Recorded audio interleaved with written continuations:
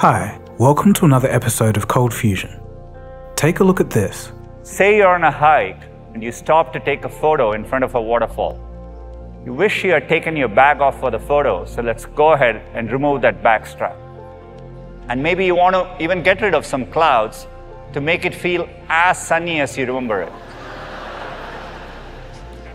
Looking even closer, you wish you had posed so it looks like you're really catching the water in your hand. No problem. You can adjust that.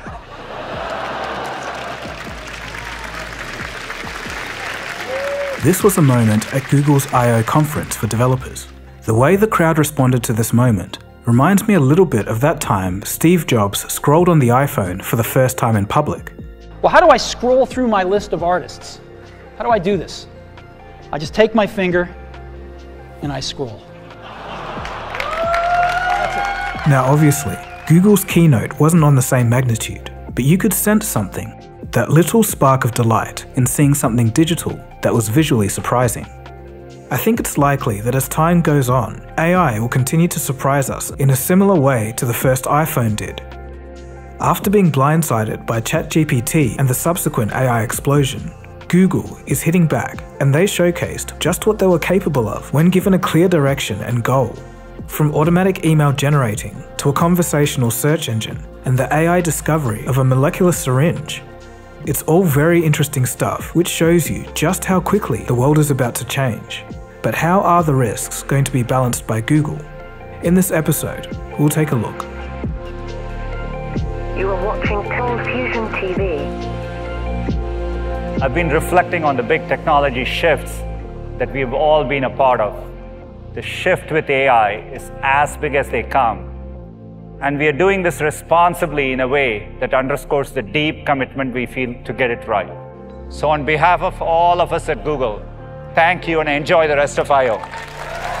It's clear that Google sees this as a big moment in their history and in world history. Think about it this way Google's most valuable product is search which by the way brings in about 60% of profits. If Google is willing to risk putting AI into their Google search, the center of their multi-billion dollar income stream, AI can no longer be called a fad.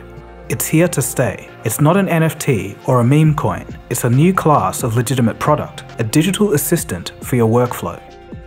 Eventually, no matter what job you do, AI assistants will help you do the repetitive boring stuff, or at least that's the plan anyway. The implications of this are huge, is changing vast swaths of industries like the web did, but 10 times as fast. In May of 2023, Google unveiled their AI game plan to the world. Google's main strategy was to integrate all of their AI research systems into their products. Now, Microsoft Bing had their chance to corner the market, but it seems like they couldn't capitalize on their lead fast enough. Bing AI turned out to be even weaker than ChatGPT, it is useful for some stuff. For example, I had an issue with Ableton that would be hard to Google, and Bing AI did help me out. But still, for a lot of people, they want even more. For Google, it was the perfect time to strike back, and with their large user base, they could now protect their cash cow, search. Google's AI search can basically do everything Bing AI can do, but with the accuracy of Google. So let's start with a search for what's better for a family with kids under three and a dog Bryce Canyon, or Arches? Now, although this is the question that you have, you probably wouldn't ask it in this way today. You'd break it down into smaller ones, sift through the information, and then piece things together yourself. Now, Search does the heavy lifting for you. There's an AI-powered snapshot that quickly gives you the lay of the land on a topic. And so here you can see that while both parks are kid-friendly, only Bryce Canyon has more options for your furry friend. Then if you want to dig deeper, there are links included in the snapshot. You can also click to expand your view, and you'll see how the information is corroborated. So you can check out more details and really explore the richness of the topic. This new experience builds on Google's ranking and safety systems that we've been fine tuning for decades. To make shareholders happy, Google spent a lot of time in the presentation focusing on shopping. They wanted to make it clear to advertisers that they're not going to be left behind here. In summary, this is promising a much smarter Google search experience with the ability to understand complex questions. It's a natural conversation chat experience that includes follow up questions. So, what about Bard? So, as many of you remember, the launch of Bard was pretty poor. The presentation was rushed to compete with ChatGPT, and the initial results of the system were less than stellar. Google left that battle with their tail between their legs, but have now returned with vengeance. Google claims that Bard now has better math skills logic, reasoning capabilities, and can now access the internet. So, I'm thinking about colleges, but I'm not sure what I want to focus on. I'm into video games, and what kinds of programs might be interesting? Okay, this is a helpful head start. Hmm, animation looks pretty interesting. Now I could ask, help me find colleges with animation programs in Pennsylvania. Okay, great. That's a good list of schools. Now, to see where these are, I might now say, show these on a map. Here, Bard's going to use Google Maps to visualize where the schools are.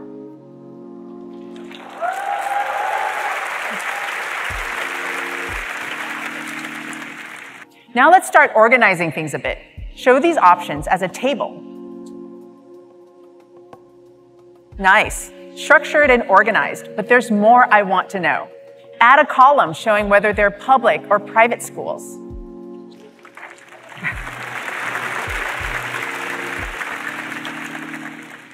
Perfect. This is a great start to build on. And now let's move this to Google Sheets so my family can jump in later to help me with my search.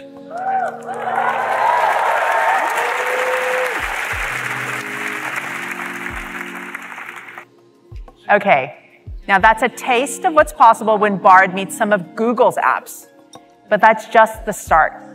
Bard will be able to tap into all kinds of services from across the web with extensions from incredible partners like Instacart, Indeed, Khan Academy, and many more. With Adobe Firefly, you'll be able to generate completely new images from your imagination right in Bard.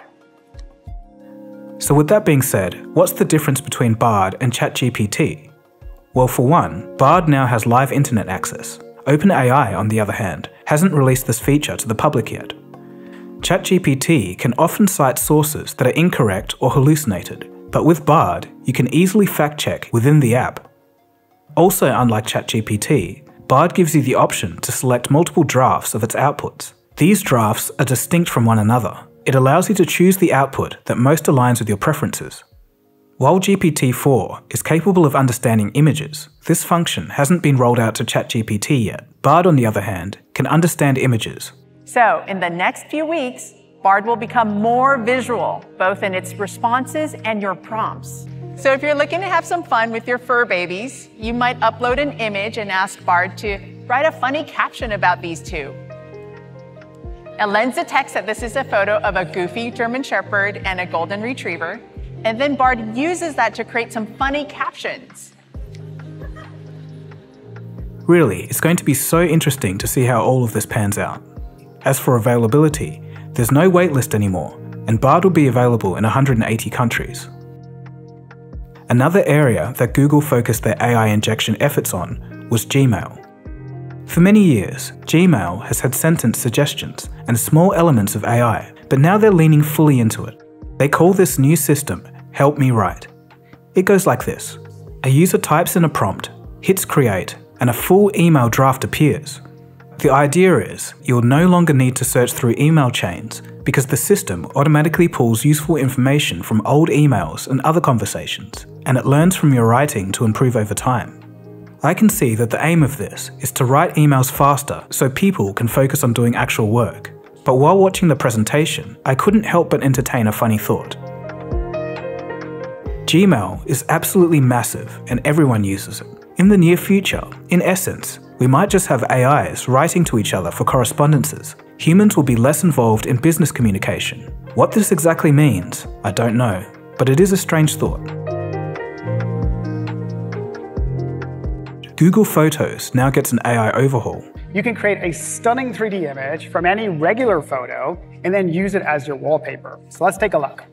And I really like this photo of my daughter, so let me select that. And you'll notice there's a sparkle icon at the top. So if I tap that, I get a new option for cinematic wallpaper. So let me uh, activate that and then wait for it.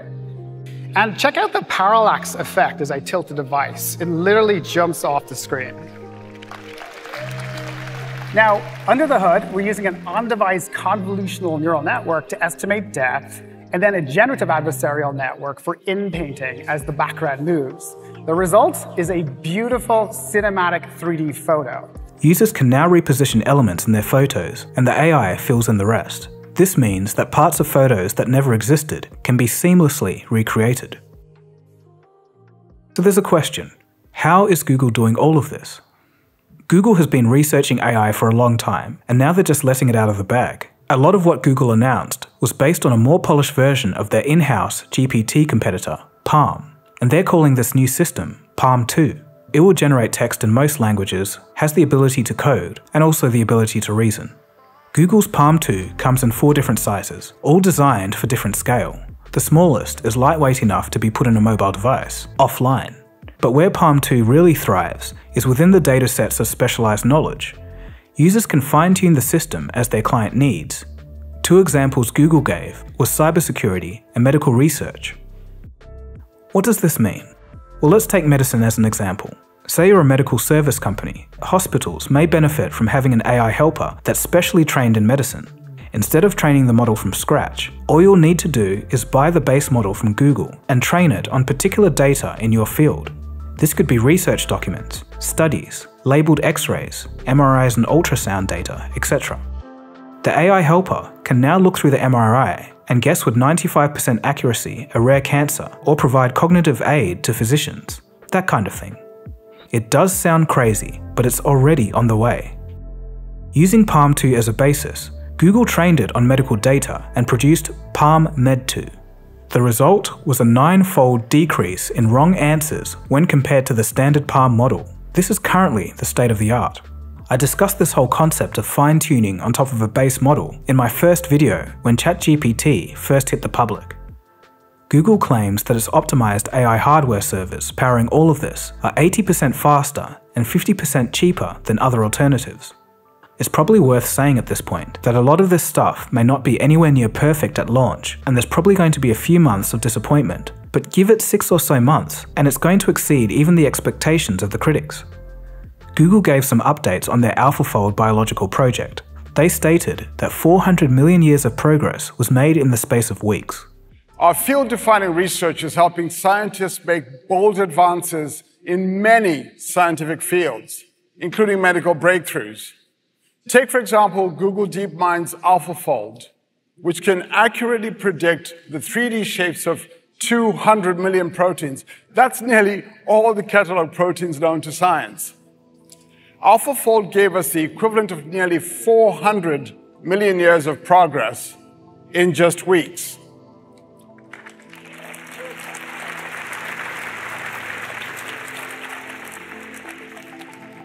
An interesting outcome was a molecular cancer syringe. So far, more than 1 million researchers around the world have used AlphaFold's predictions, including Feng Zhang's pioneering lab at the Broad Institute of MIT and Harvard. In fact, in March this year, Zhang and his colleagues at, at, at MIT announced that they'd used AlphaFold to develop a novel molecular syringe, which could deliver drugs to help improve the effectiveness of treatments for diseases like cancer.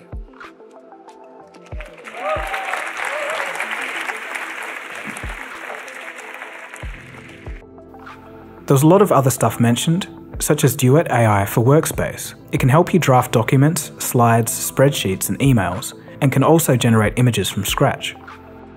Vertex AI an AI platform for building generative applications. Users can select and then fine tune the AI models, and they have access to foundation models such as chat, text, and image. And lastly, Google did unveil their plans for the defense against the flood of AI generated content.